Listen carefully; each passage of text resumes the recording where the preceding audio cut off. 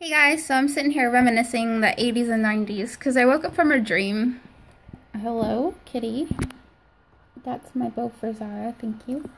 Um, when she comes.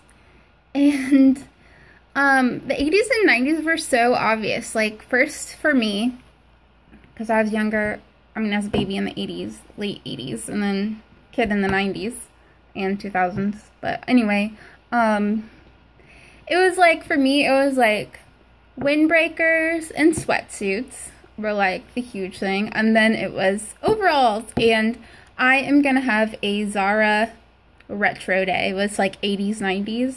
And I already ordered her the shoes, but I'm going to make it a surprise. And right now I'm looking for the outfit to go with it.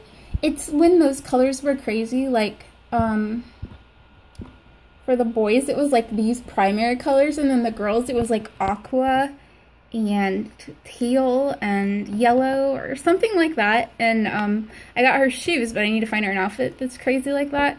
And um, I encourage you guys to do it too. It would be really fun to do like an 80s, 90s retro day for our reborns.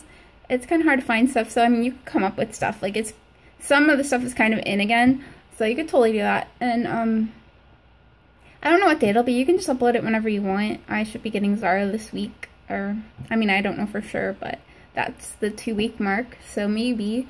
Um, yeah, I would just love to see your videos. Make sure you like tell me about it if you make a video so that I can go see it. Um, that's really expensive. I just realized that. That's crazy, but it is really old and it's Oshkosh, so it's super cool.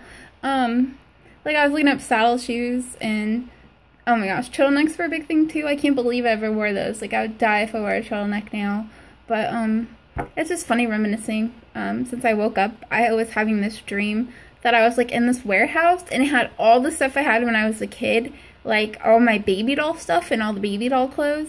And I was even looking up like retro diapers, but they're so expensive. So I might want to try to find like one or something to complete the outfit. But um, yeah, it's super fun. Um, I know for some people the 80s, 90s weren't that long ago. Some people they weren't even born. Some people um, yeah, I don't know. It's all different for everybody, but it's really funny. So, I don't know. If you want to, you can. I just think it's really fun looking through all this stuff.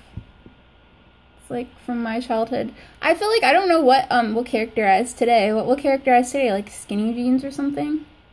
Because, I mean, this was like, not all this stuff is from that era, but I was looking at um like some of this stuff is more like that. But um I have all these brands so I'm looking up. And um Gymboree has like a lot of how do I go back?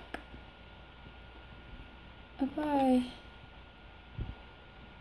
I don't know. I'm trying okay, there's Gymboree. But like this, this is like totally from that era, I'm pretty sure. 80s, 90s. Um so yeah, stuff like that would be really funny. To have a, a day that Zara would wear that. I'm just trying to find an outfit that goes with the shoes that I got. But um, I'd love to see if you guys have any like real stuff from that time or what you come up with. So um, I feel like there's something else I wanted to say. That's why I'm stalling, but I can't remember. So I'll see you later.